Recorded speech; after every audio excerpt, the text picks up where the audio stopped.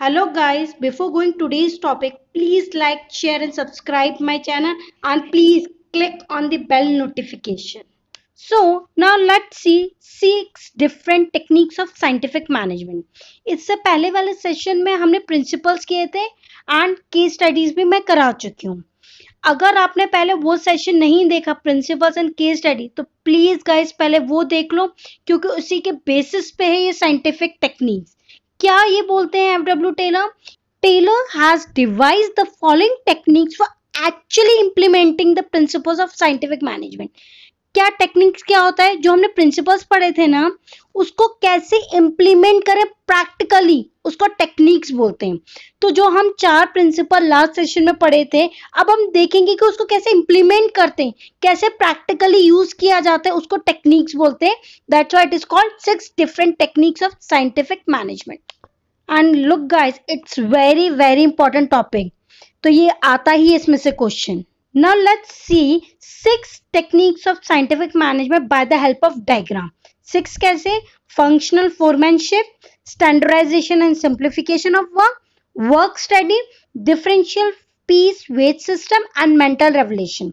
But work study four parts में divided है. Fatigue study, method study, time study and motion study अब हम one by one करके इसको डिटेल में पढ़ेंगे So, first, techniques of scientific management is standardization and simplification of work.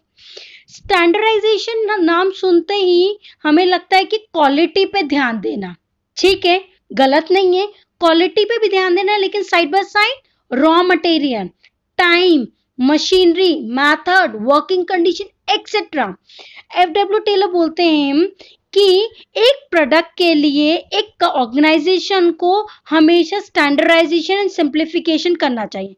And you know that 87% of companies consider standardization an important part of their future business plan yeah 87% of companies तो standardisation क्या है? Take an example of Apple Apple का क्या है? अगर आज मुझे पता चले कि एप्पल ये प्रोडक्ट लॉन्च हो रहा है तो क्या मैं बहुत ज़्यादा सोचूँगी? हाँ मेरा पॉकेट ज़रूर सोचेगा, लेकिन अगर मेरा पॉकेट अलाउ करेगा, क्या मैं Apple phone Apple tab Apple laptop etcetera Apple का ब्रांड क्योंकि वो मेरे दिमाग में उसकी क्वालिटी स्टैंडर्ड बना हुआ है। यही अगर नोकिया हुआ वीवो हुआ तो मैं एक परसेंट के लिए शायद उसका सर्वे करूँगी, लेकिन एप्पल के लिए सिर्फ़ मनी मेरे को मेरा पॉकेट अलाउ करेगा, इसके अलावा मैं नहीं सोचूँगी। Now let see the proper meaning of standardisation simplification of work it refers to the process of setting standard for every business activity that is standard of process raw material time machinery methods and working condition it represent benchmark of the company benchmark of the company मतलब कि क्या size होगा, क्या wait होगा क्या quality होगा? ए वाली quality में कैसा रॉ मटेरियल बनेगा? बी वाली क्वालिटी में क्या रॉ मटेरियल डालेगा? इस टाइप का। Simplification simplification aims at simplifying the work so that it could be understood by the workers. Every employee is required to be trained for specific task of well being defined job. अगर मैं simple बोलूँ simplification मतलब clarified ये workers के लिए होता है कि कब कौन सा काम करना है? कैसे करना है? क्या ट्रेनिंग देनी है?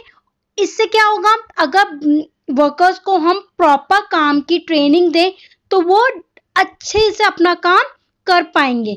Simplification is necessary for standardisation कैसे सिंप्लीफिकेशन नेसेसरी है स्टैंडर्डाइजेशन के? सिंप्लीफिकेशन हमने क्या समझा था? क्लेरिफाई करना कि कब कौन सा काम करना है, किस क्वालिटी का काम करना है ए वाला क्वालिटी का प्रोडक्ट बनाना है कि बी वाली क्वालिटी का प्रोडक्ट बनाना है? सो so, जब ये सब चीज़ें क्लेरिफाई रहेंगी सिंप्लीफाइड रहेगी तो एक कंपनी का बेंचमार्क को मीट करना बहुत इजी रहेगा एक एम्प्लॉय के लिए और एक मैनेजमेंट के लिए। सेकेंड टेक्निक्स क्या है साइंटिफिक मैनेजमेंट की? Scientific study of work F W Taylor का मेन ऑब्जेक्टिव क्या था एक्चुअल में? प्रिंसिपल्स उन्होंने क्या बनाया क्या सोच के बनाए? To minimize the cost of production and maximize the quality and customer satisfaction उनका था कि प्रोडक्शन की जो कॉस्ट है वो कम हो क्वालिटी बहुत अच्छी हो और कस्टमर को सेटिस्फाई करे means best way of doing the job तो उन्होंने एस ये चार स्टडीज़ निकाली method study motion study time study and fatigue study अब हम लाइन वाइज इसको डिटेल में करेंगे। So first one is method study method study का मेन एम क्या था? Is to find out one best way of doing the job मतलब बहुत सारे ऑल्टरनेटिव वे में से वन बेस्ट वे करें, जिसमें प्रोडक्टिविटी अच्छी हो, पर हमारी कॉस्ट कम लगे और कस्टमर सेटिस्फाइड हो। एफ़ टेलर यहाँ ये भी बोलते हैं कि साइंटिफिकली मेथड यूज़ किया जाए। मतलब रू जो हमने रूल ऑफ़ थम किया पढ़ा था ना मतलब उनका मानना है कि साइंटिफिकली न्यू न्यू टेक्निक्स लाए new innovation new ideas that is why it is known as method study and ऐसा नहीं है मैथड स्टडी एक बार की एंड फिनिश नहीं। Right from procurement of raw material till the final product is deliver to the customer each activity is a part of method study. Means कि method study जब हम रॉ मटेरियल चूज़ करते हैं till the delivery of customer हर एक activity में हम method study को use करते हैं। So the next is motion study ये इसका मेन ऑब्जेक्टिव क्या था? To eliminate the unnecessary motion unnecessary motion example lifting करना किसी प्रोडक्ट को। या ऑब्जेक्ट्स को पुटिंग इधर उधर ले जाना sitting and changing position which are undertaken while doing job there are three types of movement productivity movement unproductivity movement and incidental productivity movements क्या होते हैं? कि जो इंसान इफिशियंट वर्कर जो काम कर रहा है, उसमें उसका कितना टाइम लग रहा है? और अनप्रोडक्टिविटी जस्ट अपोजिट कितना उसका ना काम करने में और टाइम वेस्ट करने में take an example raw material थोड़ा दूर पड़ा है। तो उसको लेने और लेकर आने में कितना टाइम लग रहा है? This is unproductivity and incidental very simple incidental कि अगर कोई इंसिडेंट होता है फैक्ट्री में वर्कर्स के मतलब फैक्ट्री में किसी का हाथ में लग गई या कुछ हुआ या फायर लग गई तो उसमें भी वो स्टडी करेंगे कि, कि कितना टाइम वेस्ट हुआ और उतनी देर में कितना काम हो सकता था। So this is called motion study now the next is fatigue study fatigue study मतलब कि रेस्ट इंटरवल ऑफ़िस बात है कि एम्प्लॉय एक वर्कर एक ह्यूमन बीइंग को अगर वो लगातार पाँच छः घंटे काम करेगा तो उसको रेस्ट देना ज़रूरी है, ताकि उसका जैसे पहला एफिशिएंसी लेवल था, वैसे ही मेंटेन रहे, उतना ही रहे, या उससे ज़्यादा रहे. तो इसका मेन ऑब्जेक्टिव क्या है कि to maintain the efficiency level of worker यहाँ पे हम एक एम्प्लॉय एक वर्कर की फेटिक स्टडी देखेंगे कि वो कब थकता है, उसको कितना टाइम चाहिए, कितना रेस्टिंग टाइम चाहिए ताकि वो वापस अपनी जॉब पे उसी फुल कैपेसिटी में एक काम करें। And there are so there may be so many causes of fatigue such as long working hours poor working condition unsuitable work unhappy relation with the boss etcetera now the last study is time study time study क्या होता है? Time study हमें help करता है कि कितना time लगेगा उस प्रोडक्ट को बनाने में, उस वर्क को कंप्लीट करने में। अगर वर्कर उस काम को take an example two worker है ए एंड बी ए हो सकता है वही काम करने को चार घंटे लगा रहा है और बी पाँच घंटे लगा रहा है। तो वो ये देखेंगे कि क्यों डिफ्रेंशिएट है? दोनों को सेम ट्रेनिंग दी है दोनों का सेम एक्सपीरियंस है फिर क्या रीजन है कि दोनों में एक जना चार घंटे में कर रहा है और एक जना पाँच घंटे में कर रहा है? So this study helps us कि क्यों डिफ्रेंशिएट आ रहा है? कौन कितना काम कर रहा है कौन इफिशियंटली काम नहीं कर रहा? हो सकता है जो पाँच घंटा टाइम लगा वो इफिशियंटली काम ना कर रहा हूँ। चार घंटे वाला इफिशियंटली काम कर रहा है। एंड इसी वजह से एफ़ डब्ल्यू टेलर क्या बोलते हैं कि कैटराइज करो, कौन इफिशियंटली काम कर रहा है, कौन इनफिशियंटली काम कर रहा है। एंड कितने नंबर्स ऑफ़ वर्कर्स रिक्वायर्ड है उस टाइम पे। एंड ये स्टडी से क्या हेल्प होता है in deciding fairs day work and also help to determine incentive scheme and labour cost now the next technique is differential wages system और differential piece rate इसमें क्या बोलते हैं एफ़ डब्ल्यू टेलर कि वेजेस काम के हिसाब से देना चाहिए, ना कि टाइम जो स्पेंड कर रहा है वर्कर एक फैक्ट्री या ऑर्गेनाइजेशन में उस हिसाब से नहीं देना चाहिए। And those worker who able to produce a standard number of unit within a fix duration are paid as per the high wage rate and those worker who not able to produce a standard number of unit within the same time are paid as per the lower wage rate क्या होता है, हर एक organisation हर एक factory का क्या होता है कि अकॉर्डिंग स्टैंडर्ड अमाउंट होता है कि इतना प्रोडक्ट प्रोड्यूस करना है। लेकिन अगर एम्प्लॉय उस टाइम पे वो स्टैंडर्ड रेट नहीं प्रोड्यूस कर पा रहा तो उसको लो वेजेस रेट पे पैसा देना चाहिए, ना कि जो हाई वेज रेट है उस पर और जो इफिशिएंटली काम कर रहा है, जो स्टैंडर्ड के हिसाब से प्रोडक्ट प्रोड्यूस कर रहा है, उस हिसाब से उसको वो high rate high wage rate देना चाहिए। So let's see by the help of example management ने स्टैंडर्ड आउटपुट पर डे का क्या डिसाइड किया? Twenty units and two wage rate decide किए five per unit and four per unit A ने produce किए पूरे ट्वेंटी यूनिट्स तो उसको ट्वेंटी इंटू फाइव मिलेगा. एंड बी ने कितने प्रोड्यूस किए? ट्वेंटी ना करके एटीन तो क्या होगा? एटीन इंटू फोर मतलब उसको सेवेंटी टू रुपीज़ मिलेगा और एक को हंड्रेड रुपीज़ इससे क्या होगा, जिसने लेस इफिशियंटली वर्क किया, वो क्या होगा, वो मोटिवेट होगा कि मैं और काम करूँ ताकि सेवेंटी टू रुपीज़ की जगह मुझे हंड्रेड मिला और इफिशियंट वर्कर जो हंड्रेड रुपीज़ जिसको मिला, वो मोटिवेट होगा कि मैं अपनी इफिशियंटली जो मैं काम कर रहा हूँ, ऐसा आगे भी मेंटेन रखूँ। So the next technique of scientific management क्या है? Functional foremanship and it's very important क्या बोल रहे हैं इसमें एफ़ डब्ल्यू टेलर कि काम को स्मॉल स्मॉल पार्ट में डिवाइड होना चाहिए। जैसा हमारे हैंनरी फ्योल ने बोला था कि डिवीज़न ऑफ़ वर्क होना चाहिए स्मॉल पार्ट में। लेकिन यहाँ पे क्या डिफरेंस है? यहाँ पे ये बोला गया है कि स्मॉल पार्ट में तो डिवाइड हो, लेकिन each part is assign to an expert उनका मानना था कि organisation is totally based on the principle of specialisation and make full utilization of the expertise of various experts. So, the tailor has suggested the division of work of factory manager into sub department.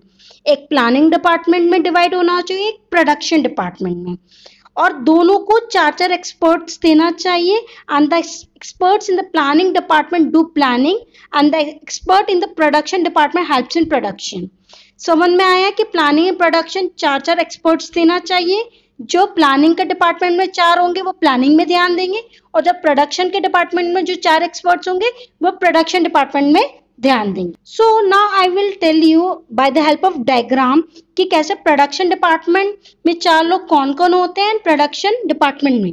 तो planning department में instruction card clerk route clerk time and cost clerk and disciplinary production department में कौन से चार होंगे? Speed boss gang boss repair boss inspector अब हम इनको वन बाय वन डिटेल में करेंगे। सो प्लानिंग डिपार्टमेंट का फ़र्स्ट क्या है? रूट क्लर्क अच्छा प्लानिंग का मीनिंग समझे तो नॉर्मली प्लानिंग का मतलब क्या होता है? कब, कहा, कैसी चीज़, कौन सा काम, कौन सा प्रोडक्टिविटी करनी है? तो उसका फ़र्स्ट है रूट क्लर्क रूट क्लर्क क्या होता है? कि वो रूट रूट देता है। This clerk ensure the sequence of completing a particular job meaning thereby the stage it shall have to pass before being finalized. It, he also decided the job to be done for a day and where it is to be done.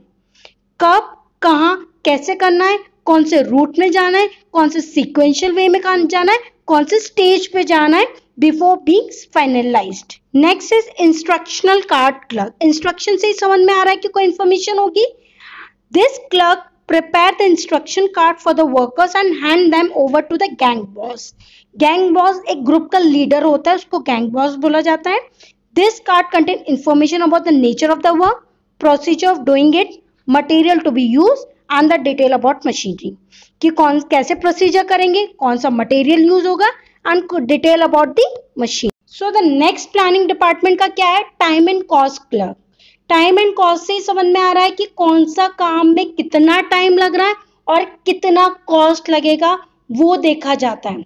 This clerk decide as to when a particular work is to be started and finished यहाँ पे group leader क्या देखता है कि बाबा कितना time लगने वाला है, कब स्टार्ट होगा, कब फिनिश होगा। और mean by thereby as to what time the whole work will take place, it is also decided at the same time at what cost the product will be produced the last one of planning department का क्या? Discipline office discipline officer क्या देखता है? Rules and regulation हो रहा है कि नहीं? डिसिप्लिन मैनर में हो रहा है कि नहीं हो रहा है? कोड ऑफ़ कंडक्ट यूज़ हो रहा है कि नहीं between the workers and see production department में किस टाइप के एक्सपर्ट्स होते हैं? First one is gang boss मैंने गैंग बॉस का भी क्या बताया था? कि ग्रुप लीडर बोला जाता है. The workers are divided into various group from the point of view of control a group leader selected who is known as a gang boss मतलब हर एक ग्रुप का डिवाइड कर दिया जाता है। बहुत बड़ा यूनिट होता है। तो हर एक को डिवाइड कर दिया जाता है। तो हर एक यूनिट में एक एक ग्रुप लीडर दे दिया जाता है। एंड उसको गैंग बॉस बोलते हैं। He is expected to ensure that both the worker and the machine are fit enough for production and that the material required for the use has been made available of them. उसमें वो expert देखता है, वो group leader देखता है कि production time पे चल रहा है कि नहीं हो रहा। वर्कर्स एंड मशीन दोनों एक दूसरे के लिए फिट इनफ है कि नहीं? एंड मटेरियल जो उनको चाहिए उस टाइम के लिए अवेलेबल है कि नहीं उस time next is speed boss speed boss का मेन फ़ंक्शन क्या होता है? To ensure that all the workers are performing the job at the required और एक्सपेक्टेड स्पीड कि वो देखते हैं कि जो उन्होंने स्टैंडर्ड टाइम सोचा था, उस टाइम पे वो काम हो रहा है कि नहीं हो रहा?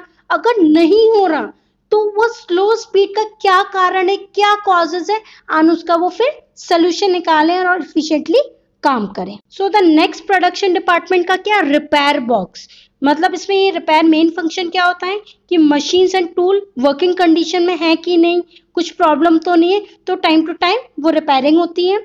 इंस्पेक्टर इंस्पेक्टर मतलब क्या करते ही? Inspect the thing produce and compare the quality with the standard prescribe for them मतलब जो क्वालिटी सोचिए, जो स्टैंडर्ड हमने, जो स्टैंडर्डाइजेशन सिंप्लीफिकेशन किया ना, वो ये देखता है कि इंस्पेक्टर कि जो स्टैंडर्ड जो क्वालिटी जो सोची थी, वो हो रही है कि नहीं?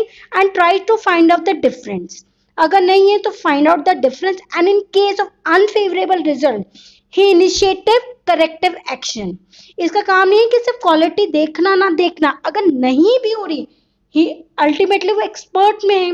अगर वो कुछ प्रॉब्लम आ रही है तो वो इंस्पेक्ट करेगा ना कि क्या डिफरेंस और अगर डिफरेंस है भी तो अनफेवरेबल रिज़ल्ट क्यों आ रहा और इनिशिएटिव लेगा करेक्टिव एक्शन सही ढंग से जो वर्कर्स काम कर रहे हैं, उनको समझाएगा कि ऐसे नहीं, ऐसे काम करो. So the last technique of scientific management is mental revolution जिसमें हेनरी फ्योल ने भी अपने प्रिंसिपल्स फोर्टीन प्रिंसिपल्स में बोला था एफ़ डब्ल्यू टेलर भी यही बोल रहे हैं, दोनों का मानना एक ही चीज़ है कि दोनों वर्कर्स एंड मैनेजमेंट में कोऑर्डिनेट होना चाहिए कॉरपोरेशन होना चाहिए, दोनों को एक दूसरे के रिस्पेक्ट करना चाहिए और ये भी दोनों को अपना ना थिंकिंग चेंज करना चाहिए और दोनों को ये सोचना चाहिए कि दोनों एक दूसरे के बिना इनकम्प्लीट है।